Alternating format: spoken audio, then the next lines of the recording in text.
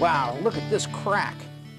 You know, before you put down most flooring materials, you have to make sure that the floor surface is pretty level and crack-free. So it's important to use a floor leveling or crack filling compound. A lot of them are easy to work with. You just mix them with water. And many of them are cement-based, which makes them very, very sticky. I like to read the instruction first. It's always a good idea. Just turn the bag around, see what it tells you to do. Frequently, with cement-based products, you need to make sure that the floor surface is clean and it's smooth, meaning there aren't any old humps of concrete or bumps or whatever. Those are going to get in their way and actually create a problem. What you do is take a scraper and scrape down the floor to make sure it's pretty smooth. Then clean it with a sponge and water.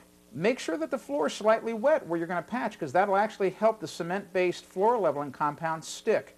Only mix a small amount of product up to work with because frequently these set up or get hard very quickly, often in as little as three or four minutes. Use a large broad knife to apply the material and just get it as smooth as possible. It's not hard. Sometimes you may need a second coat to smooth out a rough area, but it's generally very easy to work with. Well, you want to make sure that you get up any excess as well. If it dries, it becomes extremely difficult to get up. And remember, it leaves a little hump that may telegraph through the flooring that you're trying to make look perfect.